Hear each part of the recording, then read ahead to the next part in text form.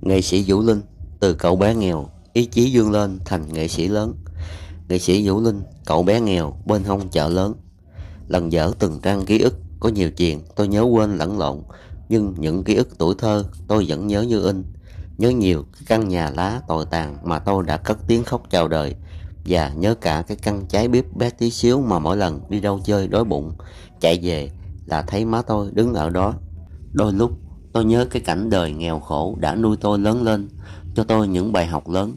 Nhờ tình thương vô bờ của má, tôi đã dần sửa chữa được nhiều thói hư tật xấu mà tôi đã hấp thu được từ cuộc sống liêu lỏng ở hè phố. Tôi sinh ra trong một gia đình nghèo, má tôi quê ở miệt thứ 11, tỉnh Kiên Giang. Má tôi vì bị một chứng bệnh nan y mà cả thời con gái đã phải sống trong bệnh viện ở Sài Gòn. Má tôi gặp ba tôi cũng là cái duyên kỳ ngộ. Ba tôi vốn là công nhân trong bệnh viện, thấy má tôi hiền lành, chịu thương, chịu khó, nên đã thương và hỏi cưới má tôi. Vì nghèo không có tiền thang thuốc, mà người chị hai và anh ba của tôi đều mất ngay từ khi vừa mới chào đời. Cho đến khi má tôi sinh ra anh Tư, ảnh trắng như sữa nên má tôi đã đặt là Tây. Lần sinh ra tôi, má tôi xích chết. Mỗi lần nhớ tới cái cảnh dược cạn sinh ra tôi ngày 10 tháng 12 năm 1958, má tôi hay mắng yêu, cái thằng sinh nó ra trần ai khoai củ. Người ta cùng lắm là đẻ ngược, còn thằng này lại đẻ ngang. Cái tay ra trước còn dãy dãy, làm cho má muốn rớt tim. Tôi hay đùa với má của tôi rằng không biết có phải là cái dãy tay định mệnh kia mà con mới theo nghề hát.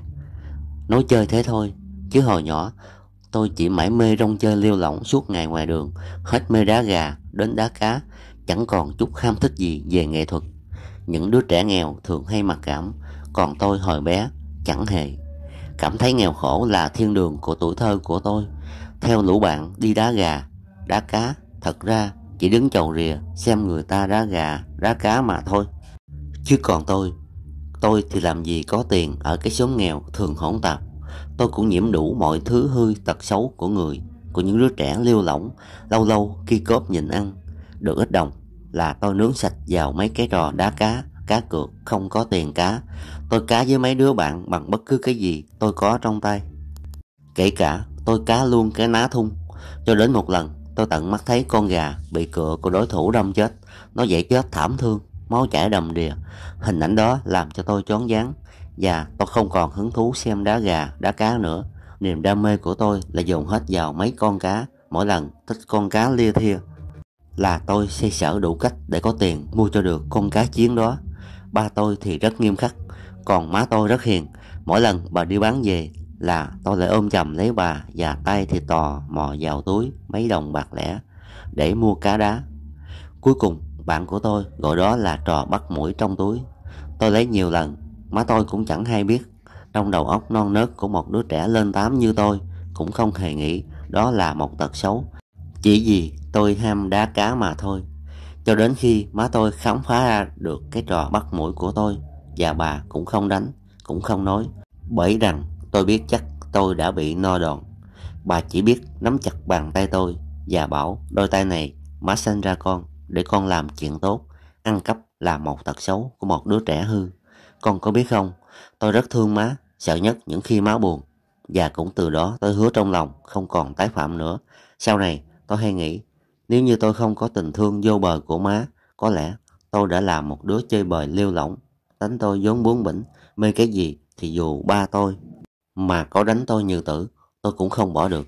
Nhưng vì tôi thương má, vì sợ má buồn, nên tôi đã không phạm phải những lỗi lầm lớn, mà tôi đã dần sửa chữa được những tật xấu mà tôi đã hấp thu được từ cuộc sống lêu lỏng ngoài đường phố. Trốn cha đi học ca. Ba má tôi dù cố gắng làm việc cật lực cũng không thể lo cho anh em tôi được học hành đầy đủ. Tôi còn nhớ tôi và anh Tây đi học chỉ mặc chung một chiếc quần. Anh học buổi sáng, tôi học buổi chiều. Tuy nhiên, sau này anh Tây cũng phải nghỉ học để tôi được đến trường. Những khi nhà túng bẩn không có tiền đóng học phí, tôi cũng phải nghỉ học một thời gian. Vì thế, tôi lớn đồng ngồng mà vẫn phải đi học chung lớp. Với mấy đứa nhỏ, quá mắc cỡ, tôi xin má cho tôi nghỉ học để đi học ca. Thực ra, tôi cũng chẳng có ý thức gì về con đường ca hát. Tôi muốn đi học ca chỉ vì ham vui theo đám bạn và cũng chỉ để khỏi phải đi học chung với đám nhỏ. Tôi cũng không hiểu được vì sao má tôi lại dễ dàng đồng ý cho tôi đi học ca. Có lẽ má tôi cũng mong muốn tôi có một tương lai tốt đẹp. Và má tôi còn giấu biệt ba tôi bởi ông biết tôi mà bỏ học. Thì chắc chắn ông sẽ đánh tôi như tử tương. Tôi theo mấy đứa bạn học ca ở trường văn phát, chủ yếu là học ký sướng âm, ca tân nhạc, vẫn chưa có một ý niệm sẽ đi học ca cổ. Cho đến một ngày, số phận đã dung rủi tôi đến với lò dạy nhạc ca cổ của thầy Văn Dĩ. Chiều hôm đó, lúc tôi được nghỉ sớm, tôi và hai đứa bạn kéo nhau đi chơi cho đến đường Trần Quốc Toản, nghe tiếng ca rôm rã. Ở trong lớp quá chừng, tôi chạy vào xem vì muốn chọc ghẹo mấy cô bạn học ca nên bọn tôi ghi tên học ca cổ và sáng học tân nhạc, chiều học cổ nhạc của thầy Văn Dĩ. Thầy Văn Dĩ rất nghiêm khắc, trên tay của thầy luôn cầm một cây nhịp để mỗi khi đứa nào mà ca trật là thầy nhịp, thầy gõ lên đầu đau điếng. Có một điều rất lạ là hai mắt của thầy không thấy đường, nhưng tay của thầy thì rất thính. Tiếng ca của đứa nào thầy nghe rất rõ, bắt dò không bao giờ trật. Có lẽ nhờ sự dạy dỗ cứng rắn của thầy mà trong một thời gian rất ngắn, tôi đã ca đúng nhịp và có kỹ thuật. Tháng đầu tiên, tôi đã vượt lên đứng đầu lớp. Tôi đi học ca được 4 tháng mà ba vẫn không hề hay biết. Và cho đến một hôm, tôi đang đu mình trên cây ổi. Ba tôi bất ngờ đi lục xót cặp của tôi. Mở ra, ông giận tái người khi thấy toàn là những bài đờn. Giận quá, ông la lối ôm sồm, hất tung những bài ca trong cặp bay tá lả khắp nhà. Tôi từ trên cây thấy mặt ba tôi xanh tái giận dữ. Tôi hoảng sợ. Đến nỗi mà tôi đã làm bậy ra quần. Tôi nhảy tót xuống dưới, chạy trốn qua nhà hàng xóm. Đứng ở đằng xa, tôi vẫn còn nghe tiếng của ba tôi la lớn. Mẹ tôi và tiếng khóc đấm đá quỳnh quịch. Tôi vừa khóc, thương mẹ, vừa sợ, không dám về nhà. Và phải đợi đến khuya, ba tôi đi ngủ, tôi mới lén về. Bất chợt, một bàn tay trong bóng tối nắm lấy tay tôi, kéo nhẹ tôi vào giường. Tôi nhận ra hơi ấm và những giọt nước mắt của mẹ tôi. Tôi gục vào lòng bà và khóc rống rức. Trời vừa rạng sáng, tôi đã bật dậy thật sớm vì sợ chạm mặt của ba tôi. Sau này, tôi hay nghĩ nếu không có sự kiên trì của má tôi, chắc hẳn sẽ không có một ngày tôi bước chân vào nghề hát.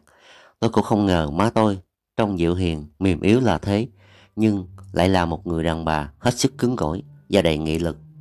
Bà đã luôn nhẫn nhục, chịu đựng không dám ra mặt chống đối ba tôi, nhưng việc gì bà đã quyết tâm làm là theo đuổi đến cùng. Sau cái lần bị ba tôi khủng bố, dù rất sợ, bà vẫn lén lút cho tiền tôi để tôi đi học ca.